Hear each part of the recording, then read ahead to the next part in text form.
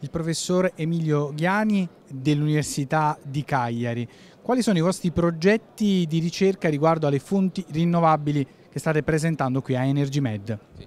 Nello specifico stiamo presentando un, un, progetto che riguarda la realizzazione di una microgrid sperimentale una, eh, che vedete qua descritta nella, in questo poster che abbiamo um, mostrato qua nel nostro stand e anche abbiamo fatto un, stamattina un incontro.